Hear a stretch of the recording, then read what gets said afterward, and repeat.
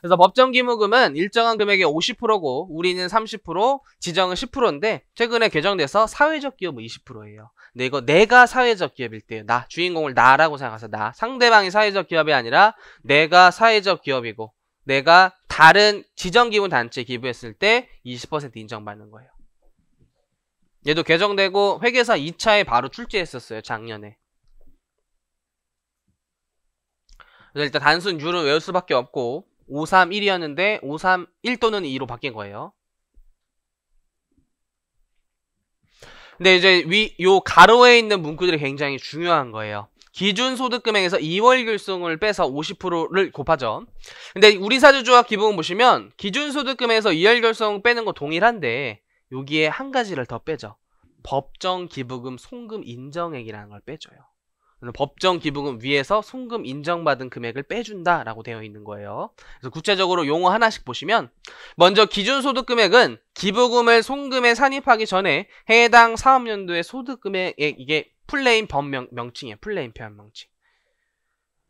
그럼 이걸 좀 산식적으로 표현해 보면 아까 세무조정 다 완료한 금액이 차가감 소득 금액이잖아요. 거기서 법정 지정 우리사주 조합 기부금 요 차가감 소득 금액 마이너스로 돼 있는 거예요.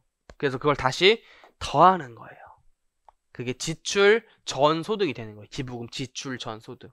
해당 법인이 1년 동안 번 소득이라고 생각하세요. 번 소득. 너가 번 돈에 얼마까지 기부하는 건 인정할게라는 한도액 산식의 의미예요. 그래서 법정기부금은 이런 기준소득 금액에서 2월 결손금 빼서 50%까지만 인정을 해요. 2월 결손금은 이제 마이너스 난 금액이니까 저걸 저 보전이 우선적인 측면이지 무슨 기부 행위냐라고 보시면 돼요. 그래서 2월 결손금 빼시고 거기에 50%. 근데 그 2월 결손금은 10년의 발생 연도 시점에 제한이 있어요. 그래서 10년 내 발생한 결손금이어야 되고 그 이후에 공제되지 않은 금액을 말해요. 그래서 10년이라는 발생 연도를 좀 체크하세요.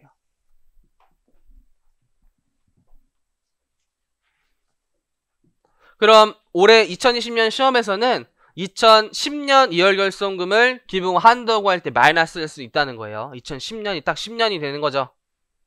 구체적인 날짜로 항상 기억하시죠. 구체적인 날짜로.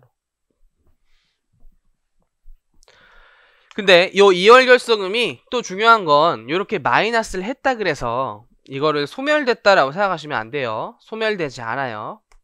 이거 기부금 한도에 구하는 산식 정도로 생각하시는 거예요. 기부금 한도에 구하는 산식. 저 이월결성금을 마이너스 됐다 그래서 이월결성금을 소멸시켰다라고 오해하시면 안 되는 거예요. 소멸 안 돼요. 다시 아래쪽에서 빼줘야 돼요.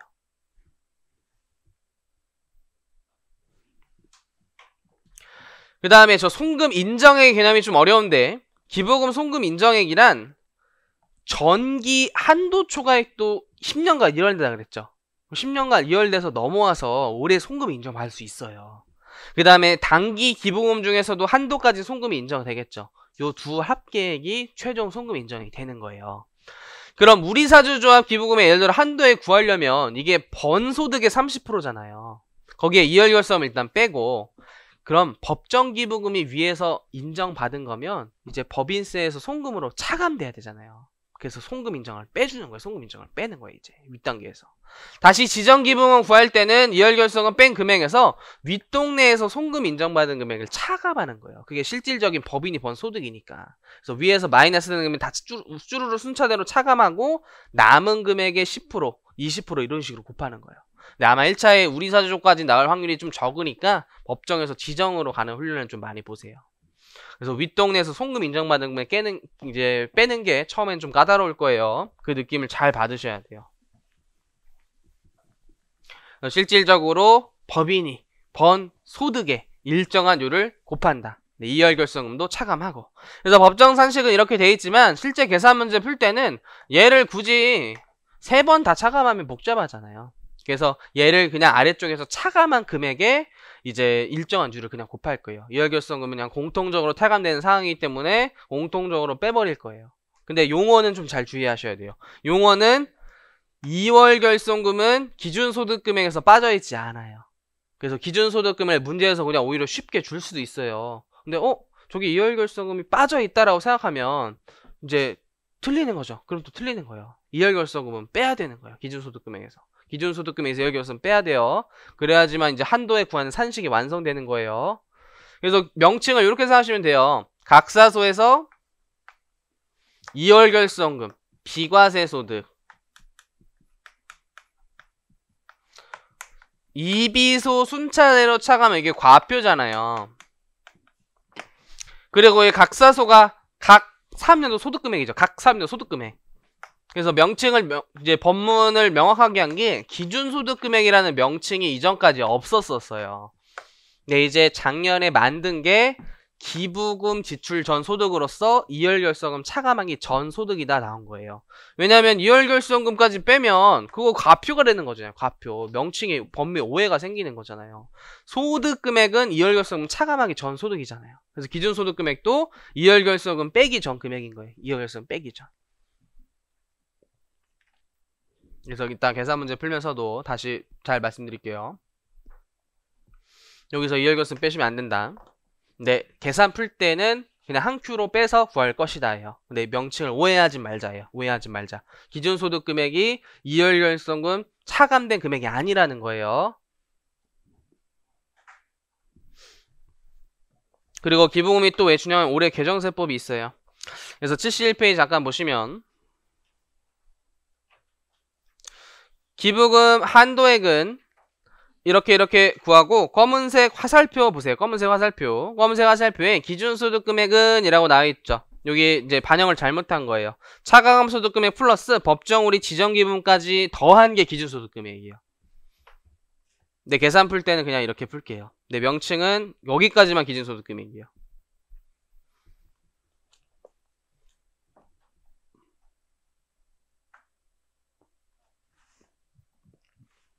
그리고 이월결성까지 차감해서 일정한 율을 곱하면 되는데 위에서 송금 인정받은 금액을 아래쪽에선 빼서 한도액을 구하셔야 돼요.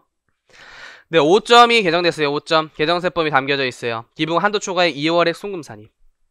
그래서 내국법인이 각 사업연도에 지출하는 기부금을 송금에 산입하는 경우 한도 초과로 2월된 금액을 해당 사업연도에 지출한 기부금보다 먼저 송금에 산입한대요. 원래 작년까지는 전기 한도 초과액이랑 올해 지출액이랑 두 개 섞여 있을 때 올해부터 집어넣었어요. 올해부터. 근데 이게 무한정 인정되는 게 아니라 10년간만 열이 되잖아요. 그럼 조금이라도 하나를 더 기부금 송금 인정해 주려면 전기 걸 먼저 넣자. 전기 걸 먼저 넣고 그 내 범위에서 단기 송금 인정 금액을 찾자예요. 그래서 전기를 먼저 넣고 단기를 후순위로 넣는 거로 바뀐 거예요. 심지어 이 경우 이월된 금액은 당연히 먼저 발생한 이월금액부터 송금에 산입하고 법정이나 지정기부금이 모두 10년간 이월이 돼요. 근데 과거에는 이게 법정은 뭐 3년, 지정은 5년, 다시 법정은 5년, 지정은 5년 그러다가 이제 10년으로 드디어 통일이 됐어요. 근데 그 개정된 연도를 좀 기억하셔야 돼요. 이게 13년 꽃표시 있죠, 꽃표시. 13년 이후 사업년도 지출한 기부금부터 10년이라고 그냥 외워버리세요, 이건. 외울 수밖에 없어요. 그래서 기부 한도 초과는 12년 거는 10년 되면은 오래 되는 것 같잖아요. 근데 이때는 안 됐었던 거예요. 이때는. 그래서 안 되는 거예요. 13년이라 이건 연도 외울 수밖에 없어요. 개정세법 때문에. 근데 아까 2월 결손금은 10년간 2월 된 그 결손금이 한도에 구할 때 뺀다 그랬죠. 그때는 그냥 2010년이 되는 거고 요거 한도 초과액 2월 되는 거는 13년 사업년도부터 되는 거예요. 13년 사업년도부터. 12년 안 되는 거예요. 11년 안 되는 거예요. 그리고 참고로 우리 사주주와 기부금은 2월이 안 돼요. 그래서 2월 된 게 먼저 송금에 산입되는 금액이 뭔지 72페이지 사례로 좀 보시면 여기까지만 잠시 좀 쉴게요. 한도초가 2월에 송금사이 나와있죠. X1년, X2년, X3년 지정기부금이 X1년도에 1000, X2년에 500, X3년 300 이렇게 지출했잖아요. 한도액이 600, 700, 600이에요. 600, 700, 600 그럼 X1년도에는 쉬워요.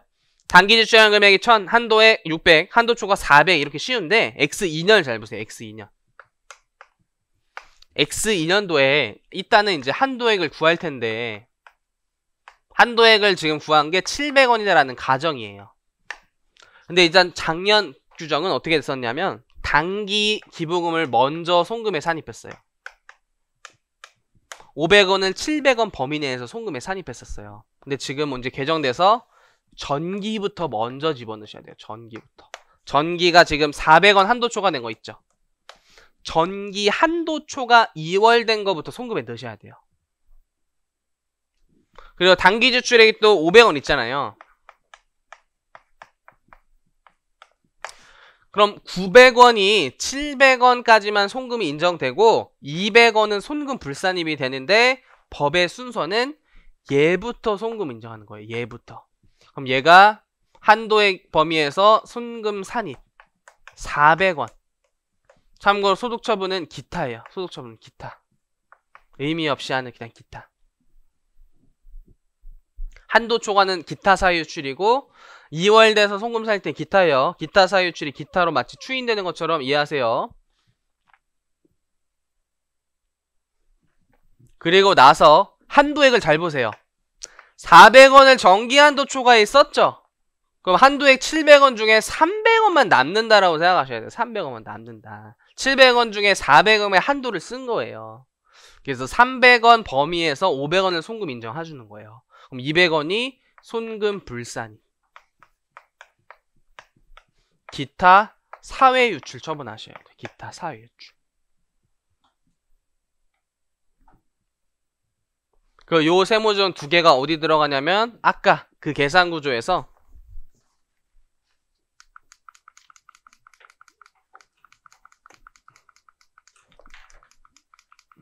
여기 요 두 개가 되는 거예요. 지정기부금 한도 초과에 지정기부금 한도 초과 2월액 송금산입 저 칸을 배운 거예요. 저 칸을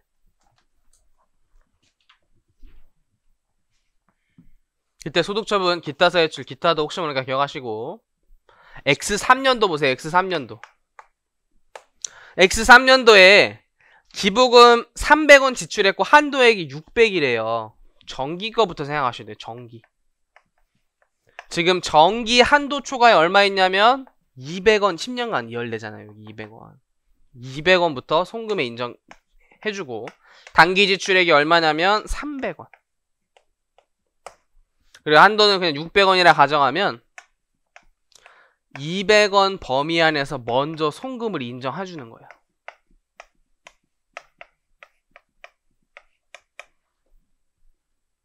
600원 중에.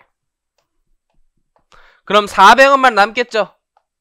이때 세무정 어떻게 하는 거죠? 이때 세무정은 손금 산입 300원 기타 이렇게 하시면 안 되는 거예요. 세무정이 없는 거죠, 이때는. 왜 세무정 없는 거죠? 요 단기 지출 기부금 300원이 아직 거기 버기 차가 감 소득 금액에 있는 거예요. 송금 불산에 한 적이 없으니까. 그냥 냅두면 그게 송금이 인정이 되는 거예요. 이걸 추가적으로 송금 산입하면 이중으로 차감되는 결과가 나오는 거예요. 그래서 요 단기 지출액을 요 한도액 범위 들어왔을 때 송금 산입하시면 안 되는 거예요.